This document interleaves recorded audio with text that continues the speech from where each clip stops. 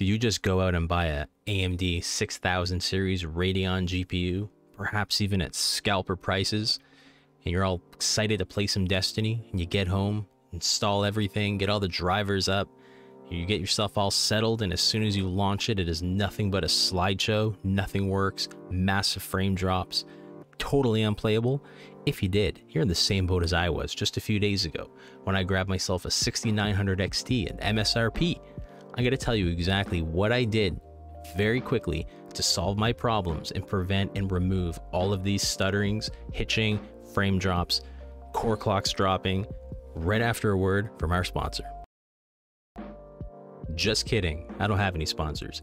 What is going on? It's Chris. It's been a while, I know.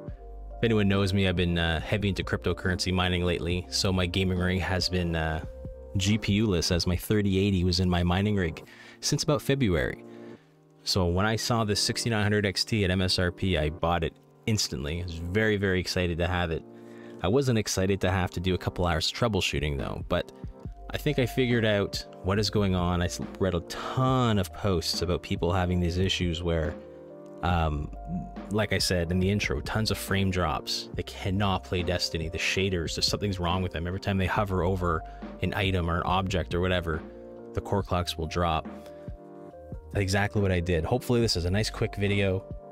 As you know, uh, me, if you watch in my videos, I rarely script my videos. I just don't have time for that anymore. So it's kind of just uh, information in, information out to uh, whoever watches my videos here. So essentially, first thing I did is I disabled the high precision event timer in my BIOS. Now I'm running a full Team Red system here. I got a 5600X as well paired with this, and uh, I have an X570 Aorus Master.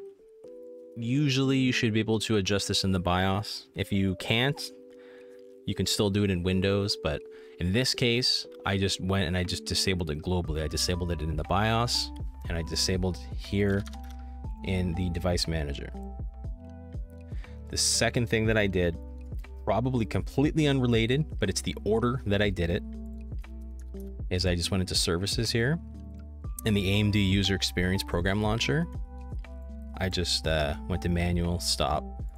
I haven't noticed any issues with it being disabled. It doesn't bother me, so I just left it disabled. Third thing that I did is I went to app data. I went to the Bungie Destiny PC, prefs, right click on CVARs, open up and edit. Now, because we're running the AMD GPU, this won't work. The NVIDIA uh, reflex low latency, it, mine was at two, because that's what I put it at. By default, it is one. If you've never edited this file, it will be one. I put it to zero just to remove any type of conflict between AMD and NVIDIA. And the fourth thing that I did, which I believe is the solution here, is I went to my uh, performance tuning manual I enabled all of these. That allows me to control everything. Now by default, this here was at 500. Now this isn't something you can control in Afterburner. I've checked. If you know how to control this in Afterburner, please let me know. But I haven't figured it out. This here is the minimum frequency your GPU should run at. Well, you know how in NVIDIA control panel, you can select uh, with the 30 series, you have normal, prefer maximum performance, or there's optimal uh, or application uh, preference or something like that in the power section. Well, this is not here in this AMD software suite. So this is the closest thing I could find. I see here my clock speed is 77, 18 megahertz. This is nuts. So when I'm gaming, obviously, this is what's happening. It's dropping for whatever reason. So I changed this from 500 to 1001. Apparently, if you put it over 500, it won't drop. And I tested it and it seems to work. But for good measure, these numbers may be different than yours. I kept it at 1001. And the other thing that I did is I just enabled uh, memory timing. That's for something different. Uh, power tuning. If you have rage mode preset, this is all that it does. It just jacks your power limit up to the max. I just put it to 15%. I uh, adjust the fan curves here. I disabled zero RPM fan because I do like to keep everything nice and cool. And that was it in that section. I applied it and that was it. Now, of course, I do recommend going into your global graphics settings here. Bear with me, I'm still kind of new to this. That's been a long time since I had to navigate this uh, menu here. Global graphics, here we go. Enabled anti-lag because anti-lag is the same as the uh, low latency in the NVIDIA control panel. You know, you have like on, ultra, off. This is the uh, this is actually here first before that, so it's cool. Fun fact. I enable that. Everything else I turn off. Uh, where are we at here? Texture filtering, quality. Just like in the NVIDIA control panel, I put all this on performance. Everything I try to keep application settings. I try not to force anything onto the application because I, the way I look at it is like the less things an external application is trying to do to my foreground application, the less chance of a conflict. I'm going to let my foreground application being Destiny control everything. So uh, that's good. Okay, so tessellation mode. I believe it was AMD optimized. I just keep it on override application settings. Or sorry, use application settings. And that was that. Now under display, again, this is something I don't think it really does anything, but I have GPU scaling enabled and that's like a, that's like an upscaler. If you have 1080p, it'll upscale it to 1440p. But since I run native 1440p, it should not be a problem. And I believe that's it. Other than uh, overlays, I disable hotkeys. I disable all overlays as well. I do not like any in-game overlays. I don't like any metrics overlay metrics, nothing like that. It's just bothers me. Okay, and that is it for that. And that's all that I did. And this was after tons of troubleshooting. This was after tons of different driver versions. Now, someone suggested to run uh, AMD driver 20.4.2.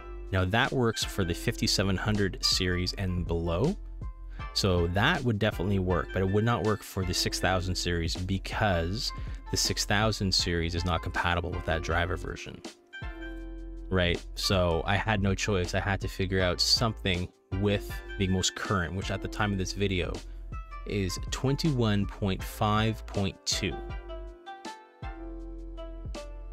So if you're on that version and you haven't made those little changes that I made, I recommend you do it because you never know, it may help you. Now, if you haven't watched my other videos yet with regards to Destiny 2 performance optimization, I highly recommend you watch those. The, the steps in those videos are still prevalent today. They'll help your overall gaming performance. In this specific video, it is it is the 6000 series that I'm talking about because there's a lot of information out there but it doesn't seem to be helping. A lot of people I've seen, they've gone through so many headaches, so many different settings trying to figure out what is going on. They've gone in their BIOS and disabled, you know, Precision Boost Overdrive, disabled SMT, disabled uh, resizable bar. I have all that enabled. I have everything enabled. Nothing's disabled. I have PCIe Gen 4. Um, you name it. I have it all enabled. I have zero hitching or stuttering in Destiny 2 right now. So if these changes did in fact help you, please, please leave a comment on the uh, section below to let me know. That way I can pass this information around. Uh, I don't know many people with 6000 series cards, so I don't really have a user base to bounce it off of. But if you guys did in fact resolve your issues, I would love to hear about it. And as always, if you like this content, please hit like, subscribe, and consider sharing it with your friends. But as always, just you being here and watch my content is definitely, definitely more than I deserve. Anyways, thank you. Have a good one. And hopefully it is not too, too long until my next video. But uh, yeah, take it easy.